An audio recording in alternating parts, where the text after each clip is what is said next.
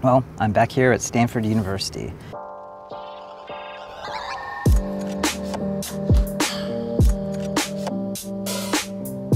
This place is awesome. Today I wanted to talk to you about mentors because a lot of people are asking me to be their mentor. You shouldn't go and try and find a mentor. You should go find people who you want to help and help them, and then good things happen from there. And that's how I got into Y Combinator, and it changed my life. Let's get started.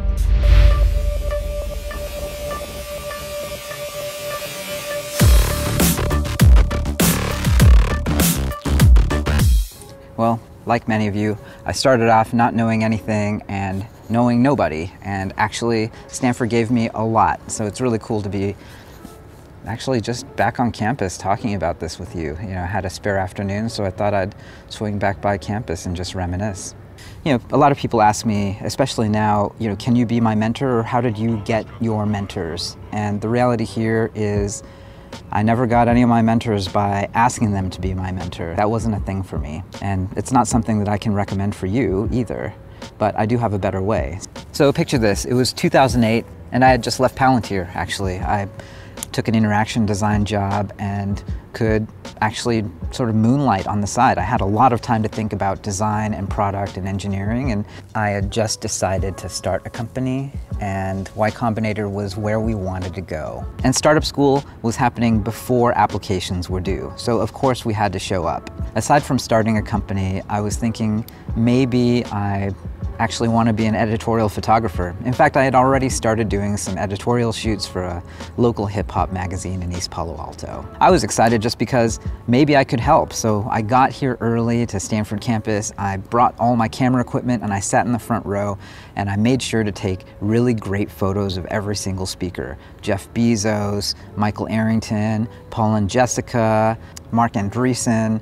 It was really a a star-studded event. Even DHH, the creator of Rails, was there. That night, I took all the photos and edited them, and I posted them on our blog platform, and I posted it on Hacker News, and it got voted up. And basically, that's where Paul and Jessica saw it. And that's what opened up Y Combinator for me. Here's me in 2009 telling the story at the next startup school. Last year, 2008, was a lot different for you. This year, you yourself are a founder. Tell me about that. Right after startup school last year, we applied, we got in, um, got in the summer 2008 batch, launched, raised an angel round.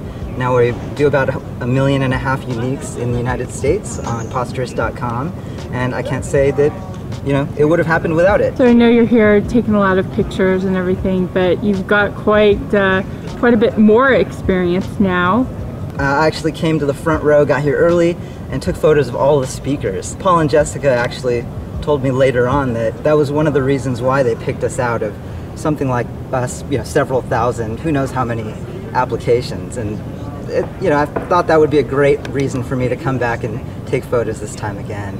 Well, aside from me being crazy embarrassed for being on camera, back in 2009 I didn't know what was next. And I certainly didn't have a sense that we would end up building a top 200 website. And I had no idea that later I would end up working at Y Combinator as a partner. So it all started with me not looking for a mentor, I was just looking for people who I believed in, and I wanted to go out and help them. After reading Paul Graham's essays throughout my life and just being really excited about this awesome event to teach us how to start startups, I wanted to give back. And that spirit of giving back brought me all the mentorship and more. It was something that changed my life. So much of our lives are basically taken care of by other people.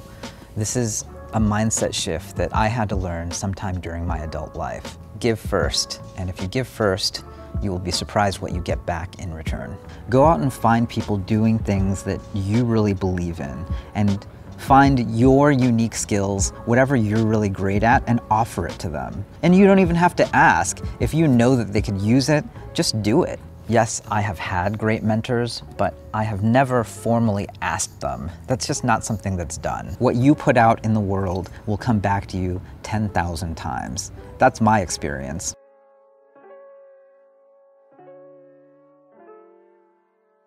Yeah, it's funny. You know, I, a lot of people come to me saying they want to be a leader, they want to be a founder, they want to start things. And what I realize now in my career, at least my experience, was that early on when I was building things up, It was more important to be a great joiner, to be able to find things that you think are interesting and then go and offer your skills. A, it's a great way to build your skills, and then B, it sets you up for success when you're ready to be a leader, when you're ready to be the founder, when you're ready to go out on your own.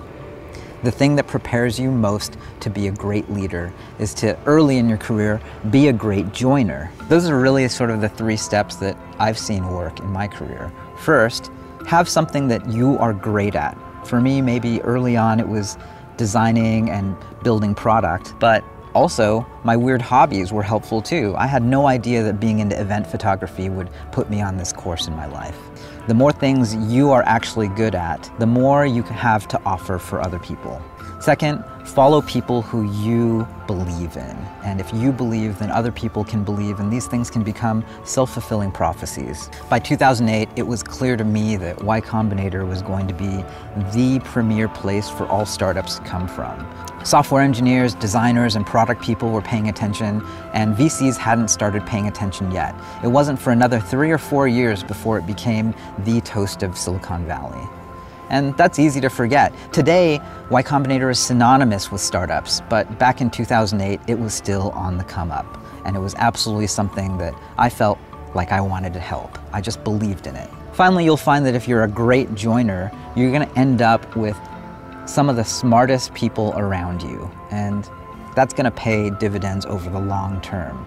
So much of life is about finding people who are incredibly smart and then working with them throughout your whole career. The magnet effect is totally real and it's really, really powerful.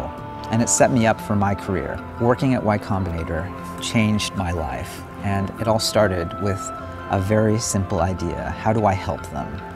After spending five years as a partner at Y Combinator and building up my skills and network, I was ready to set out on my own to become a venture capitalist for myself. I hope we're just getting started. I feel so grateful for all the people who came before me, who gave me so many opportunities, and my genuine hope is that I can just keep paying it forward. You know, a lot of people helped me get to where I am in my career, and I hope to do the same with you. So appreciate you watching here. Happy to share just like the good and the bad, you know. That's it for me. If you like this video, please click like and subscribe. Click the bell icon so you get notified next time I post. I hope that my lessons help you get to the next stage. I'll see you next time.